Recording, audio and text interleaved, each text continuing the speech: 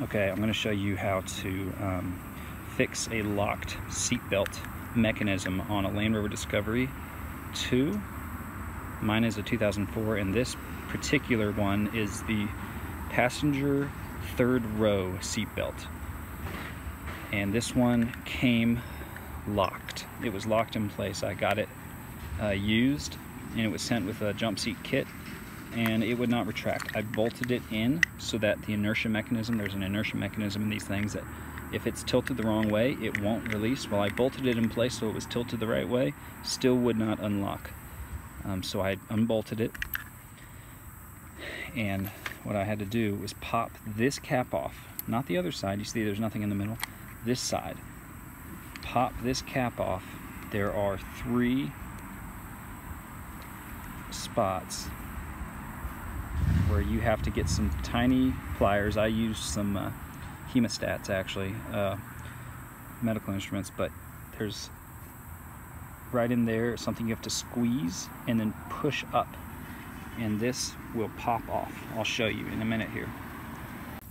Okay, with this facing up, I popped off this top. You have three little pieces that you need to pinch those with some tiny needle nose pliers and pinch them and then push it through all three. And it's tricky because as you get two out, you'll have the third one pop back in place. So you just have to pinch and push, pinch and push, keep doing it. And eventually I actually just kind of forced out the last one and used force to pull the entire thing off. Then these two pieces came tumbling out, so I wasn't sure how to put them back in place. So if that happens to you, this is how you put it back in place. This red piece goes inside this white piece, and this white piece will fit directly on top of that little notch there. You'll see it. And it should actually clip almost into place, so you'll know you have it seated well. It's just, you see that, it's just fit perfectly in there. And then this red piece can only go one of two ways and seat properly. You can try it the other way, but it won't fit right, and you'll know that. And here's the other thing. You hear that? That also means it's fit right. You can hear it spinning. This, if this piece comes out, which it did on another seatbelt I had, you see that little metal piece in there? That is the inertial piece. And that needs to be put in there just right. So it needs to be upright. And so this, if you're looking at it like this, see where that white piece locks into that pin, that's gonna give you kind of a rough estimate. You see how it jiggles? This needs to be just right up and down.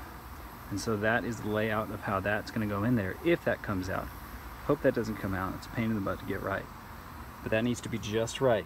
Second thing, take some WD-40, spray down all in here. Remember this mesh has to be fully extracted all the way out before you can put that cover on. And I just put the cover on demonstrating but it wasn't fully out. So now I can't get it to release. So I have to pop the cover off again, um, which now it's a lot easier to do. I can do it with my fingers because I've loosened up these tabs so much. I can just pop it off, but you have to pull that all the way out before you put the cover on. Then I would recommend going ahead and bolting it in place up here um, to keep it from retracting all the way. Then bolt it down here and then hopefully you're good to go. You gotta put this cover back on. This is how you're gonna line it up. See that bolt holder on the bottom? This is gonna be vertical. This, this little tab right here, that's only on one section. And that's gonna go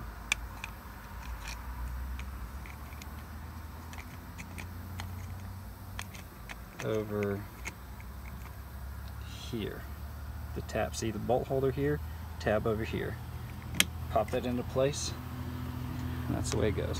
One more thing to keep in mind, uh, if you get stuck still, which I have still gotten stuck at various points, remember this is going to be your frame of reference. See that bolt down there? This is going to bolt in here once the trim is in place.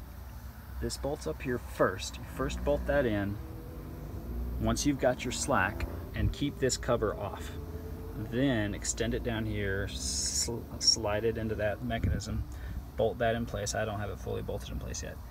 And then I would temporarily bolt this in place to give you a frame of reference. This needs to hang down here if it goes back any farther, it risks getting caught all over again and not wanting to extend. Um, so right now, you see how it's coming in and out. But this, because this is not perfectly up, because uh, I don't have it bolted in all the way, if you try and do it like I'm doing it, you'll say, oh my goodness, it's still not coming undone. Well, it's because it's not perfectly up. Also, I'm not sitting on a perfect level. I'm up on my curb. So that's gonna throw things off. Your vehicle needs to be on a flat surface, ideally to encounter the least difficulties. Obviously you can compensate for it, but as long as you know it will work, um, because I bolted this in and was like, oh no, it's still not working. But once I made sure that this was down here, I made sure this was straight because even just a little bit of wiggle here can make a big difference. Make sure this is pushed up against here. Um, and make sure your vehicle is on a level surface. This is gonna un unravel just fine. Um, and if you get stuck at any point or it gets too far retracted, just pop this cover back off with a screwdriver. Just fit it into one of these slots, pop it off again, and you can unravel it all over again and start again. But um, it will work. Uh, both of these seat belts were completely stuck. They wouldn't come out at all when I got them in the mail. And they're both for the same part, for the same area in the Land Rover. And I thought there was no hope. Uh, and both of them work just fine. All I had to do was pop that cover off, take the pieces out, or put them back in actually because they had popped out. And uh, do this, secure this in the right order. Make sure this was unraveled all the way before putting this cap back on. And uh, everything will work fine.